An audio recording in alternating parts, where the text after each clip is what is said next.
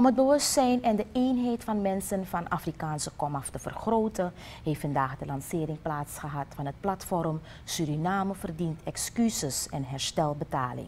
Het platform is ontstaan uit een samenbundeling van de Federatie van Rastafariërs in Suriname, GRANI, de stichting Fitifuwini, de Nationale Reparatiecommissie en andere individuele ondersteuners.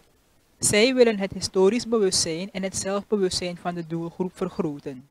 Echter, volgens Agnita Jozefzoon, voorzitter van het platform, begint dit al bij de opvoeding. We weten het dat er veel verdeeldheid is onder ons.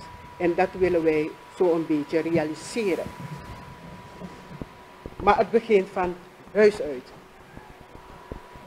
Van huis uit moet het beginnen en ook op straat, op school, op het werkplek, overal. Dus dat is hetgeen wat ik naar voren wil brengen vanmorgen, waarmee wij bezig zijn en wat wij willen bereiken ook, samen met deze, uh, dit platform van Afrikaanse afkomst. Armand Sunder van de reparatiecommissie zegt dat het niet per se gaat om excuses of herstelbetaling. Uh, dit is nu de reden waarom uh, dit platform is opgericht. En omdat het eigenlijk niet gaat om excuses of herstelbetalingen. Waar het om gaat is dat bewustzijn van de mensen. En dus dat de mensen zo bewust zijn dat zij hun vertegenwoordigers in het parlement en in de regering wijzen op het feit dat die excuses moeten komen en in Suriname.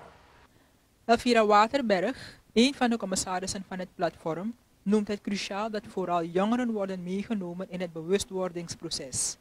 Waterberg is zelfs ook bezig met deze groep en focust zich onder meer op haar welzijn.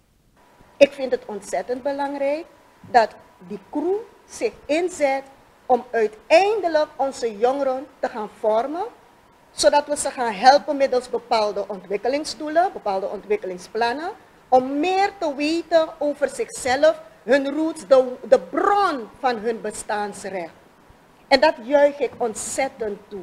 Het is tijd dat we stilstaan bij wie we daadwerkelijk zijn en niet meer wandelen op het pad van het westerse, te veel het westerse.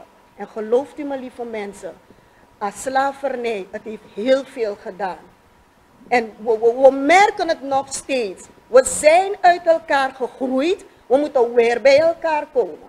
Eenheid is ontzettend belangrijk. Samenwerken is ontzettend belangrijk. Elkaar neerhalen, elkaar haten en dat soort dingen gaat ons niet verder brengen. Elvira Waterberg, een van de commissarissen van het platform Suriname verdient excuses en herstelbetaling, dat gisteren is gelanceerd.